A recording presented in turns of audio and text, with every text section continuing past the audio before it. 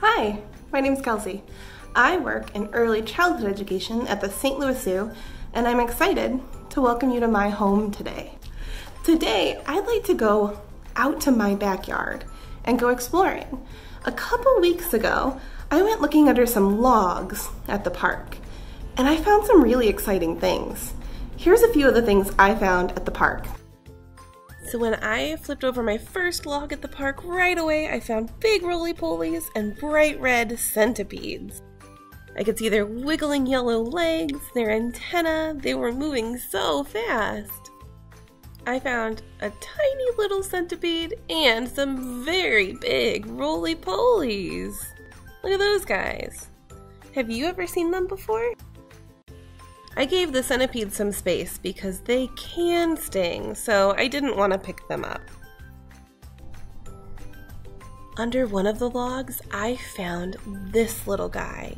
This is a woolly bear. It's a kind of caterpillar. These guys are really special because they overwinter, which means the caterpillars stay alive all winter, and then in the spring, he'll make his cocoon and become a tiger moth. I was excited to see him move around a little bit. You can kind of see his face down there. He's so fuzzy. Why do you think this caterpillar would want to be so fuzzy?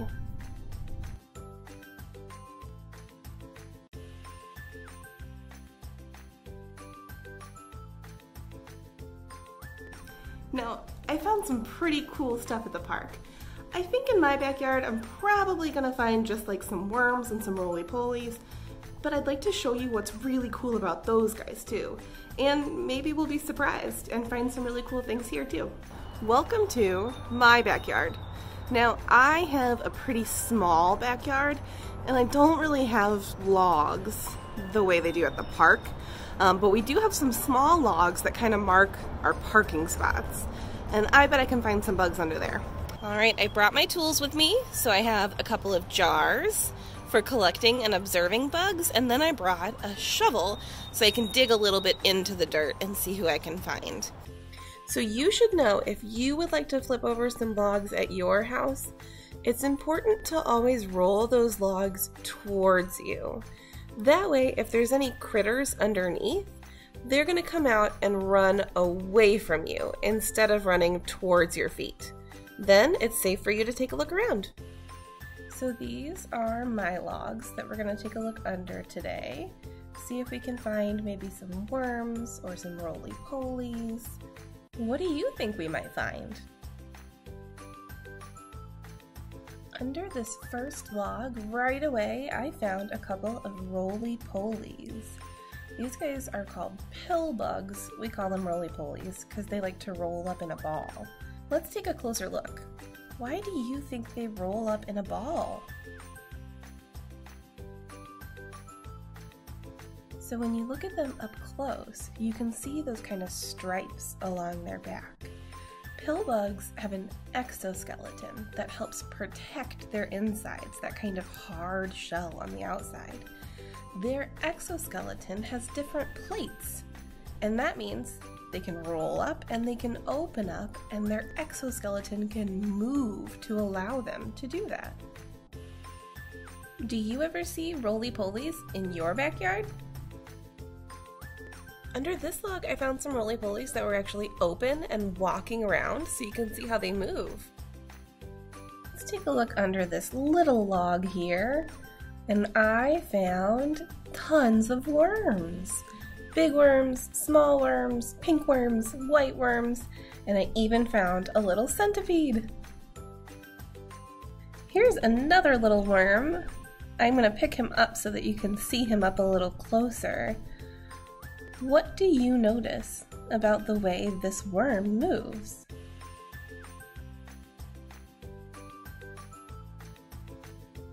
Let's put him back in the dirt so he doesn't fall down. So I wasn't too surprised when I found centipedes at the park, but I was surprised to find them in my backyard. I've never seen them here before. Check out how their legs move as they walk. On top of one of the logs, I found this insect. I know it's an insect because I see that it has six legs and two antennae, and I can even see its three body parts head, thorax, and abdomen.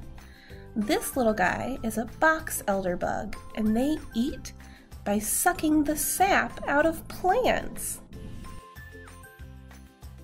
This is another bug I was really surprised to find in my backyard. This is a kind of ground beetle. You can see that its exoskeleton is shiny.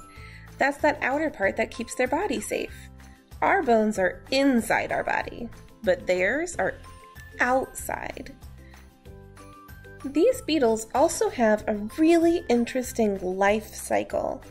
They lay eggs, those eggs become larvae, which becomes a pupa and then an adult. Let's take a look. So not too far away from them, I actually found this larva. So this is a baby beetle. It'll grow up to look just like those black beetles. Do you think it looks the same or different?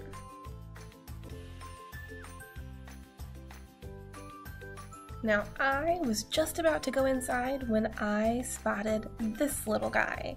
I almost missed him, and this is one of my favorite backyard bugs. It's all squished up right now. Can you tell what it is? What do you think?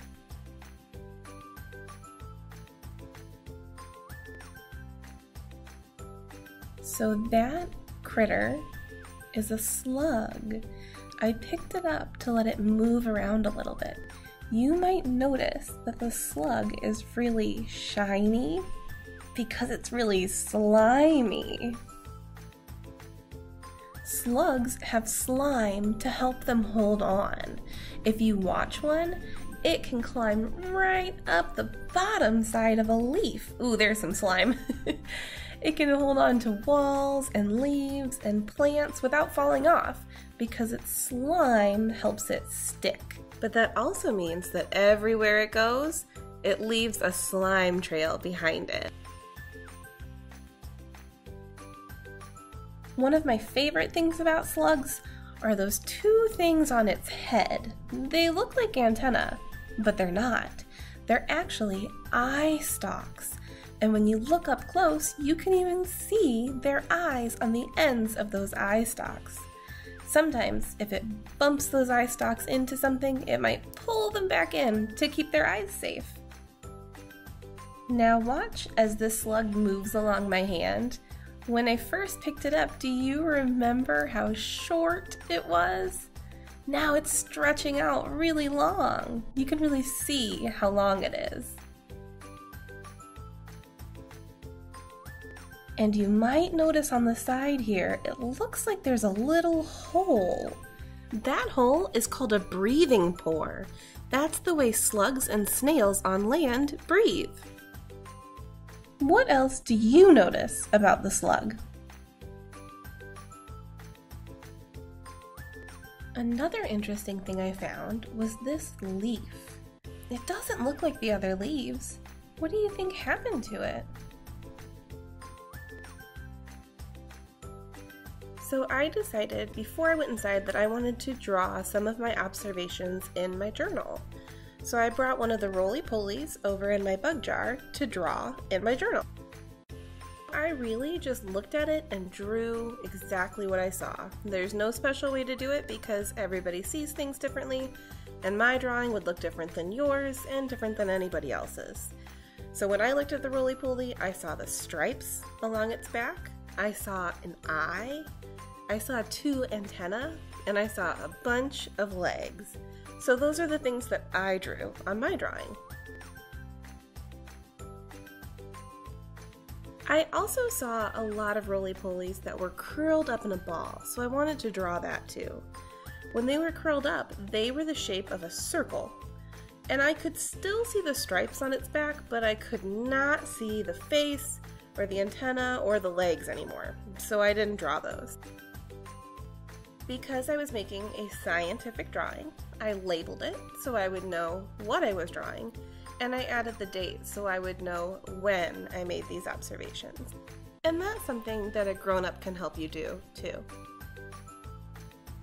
Next, I wanted to make sure that I wrote down my observations, the things that I saw while I was watching and observing the pill bugs. This is a really important part of being a scientist because it's how scientists remember the things they've learned and how they share those things with others. If you were going to write or draw in a journal about one of the bugs that we saw today, what would you draw and what would you write?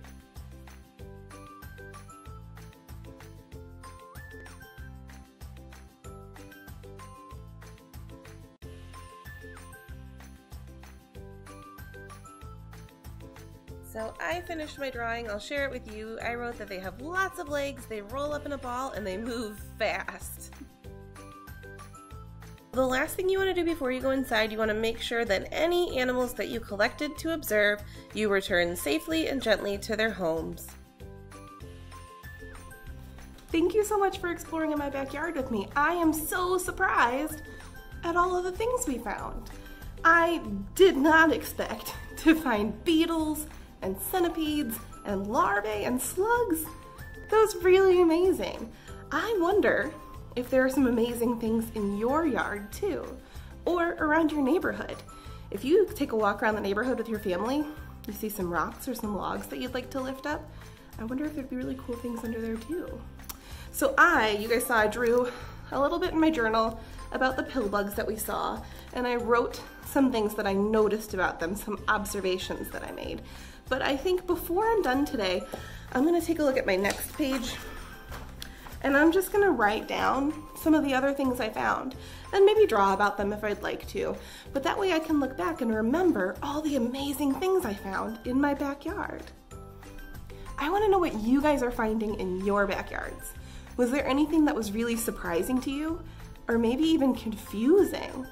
Is there anything that you had to look up to find out what it was? I knew that that black bug was a beetle, but I had to look it up to find out what kind. I really hope that this inspired you to take a look around your yard or around your neighborhood and see if you can find some wild things too. Thanks for exploring with me. Bye!